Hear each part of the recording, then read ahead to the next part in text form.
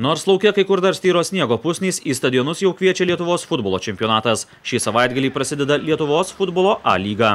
Pirmų turų sustikimai vyks dirbtinės dangos stadionuose. Lygos naujokai Kauno klubai žais nacionalinės futbolo akademijos stadione. Klaipėdos Atlantas Trakų vienuolikė priims dirbtinės dangos stadione. Pakruojo kruoja žais Panevežio futbolo akademijos stadione. Pirmadienį sezoną futbolo federacijos stadione pradės čempionai Vilnių Žalgirio futbolininkai.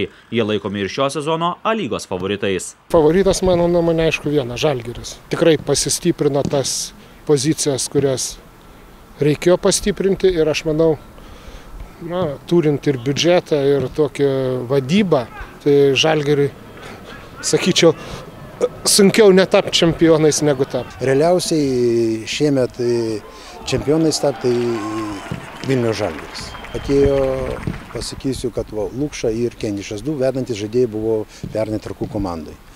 Elvelto iš Panėžio ekranų, kuris mušė įvarčius. Atėjo Varnikas Kalevinskas. Čia yra labai didelė paspirtis, stipri paspirtis. Jie yra ne jauni, bet patyrė visi ir jie buvo visi čempionais į trejetuką e, aš įdėčiau taip, aišku, neįžeidžiant visų komandų, nes dabar tik sezonas prasideda, jie visi dabar pirmoje vietoje. Visos komandos yra pirmoje vietoje. Bet ką mes matom pagal draugiškas rungtynės, pagal e, tą komplektaciją, tai aš galvočiau, trejetą sudarys e, ne pagal vietas, jei galim pasakyti, bet komandas. Tai yra Žalgiris, Atlantas ir Suduva.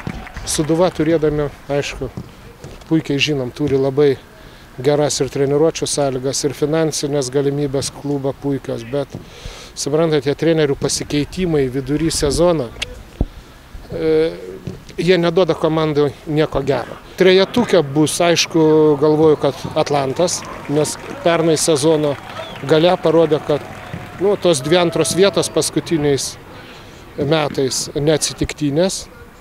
Ir aš manau, kad vis tiek Sarsanė treneris patyręs, tiesa, jie ten žaidėjų prarado, bet aš manau, kad tas spragas užpildys ir tai klubas, kuris, manau, vienintelis, kuris galės realiai e, kovoti su žalgiriu.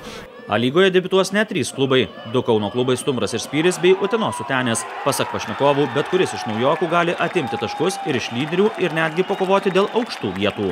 Gali nustebinti Utenės. Visgi vėl ten, sakykime, geros treniruočių sąlygos, kiek ten teko girdėti, nėra jokių finansinių e, problemų. Komanda pasipildė žaidėjais, kurie e,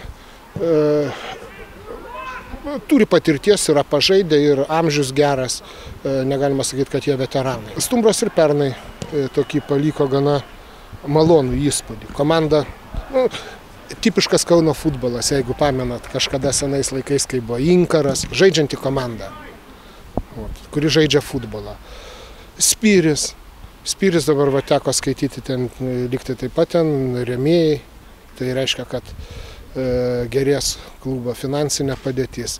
Vėlgi komanda pasipildė keliais patyrusiais žaidėjais. Tos komandos, kurios atėjo, trys komandos tai yra.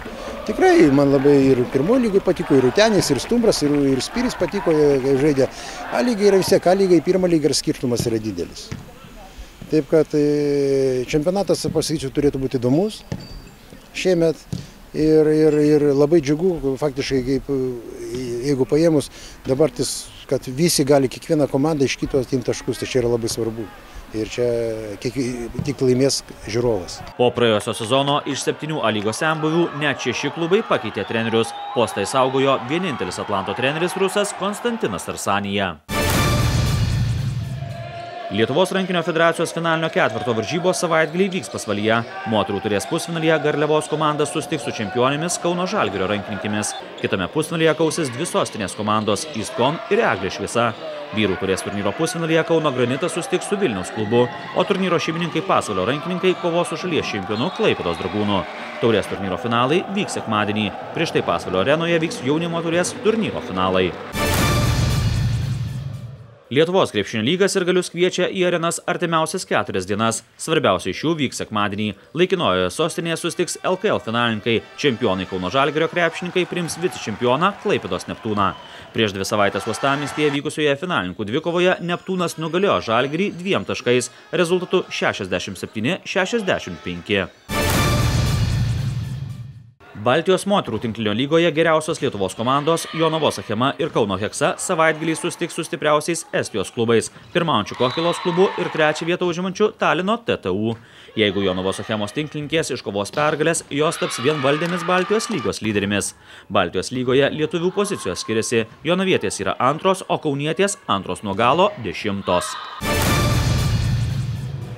Savaitgalį Vilniaus Tauro sporto mokykloje vyks Lietuvos stalo teniso čempionatas. Penktadienį ir šeštadienį vyks atkrintamosios varžybos, sekmadienį finalai. Lietuvos stalo teniso čempionate bus kovojama ne tik dėl čempionų vardų, bet ir dėl kelialapių į pasaulio čempionatą. Jame dalyvaus šeši Lietuvos stalo tenisininkai. Šiauliuose šeštadienį suksis sportinių šokių poros. Šiaulių arenoje vyks Lotynų Amerikos sportinių šokių Lietuvos čempionatas. Varžybos prasidės šeštadienį 14 val. Finalų pradžia 18 val. Sekmadienį Šiaulių arenoje vyks Lotynų Amerikos Lietuvos jaunių ir jaunimo čempionatai.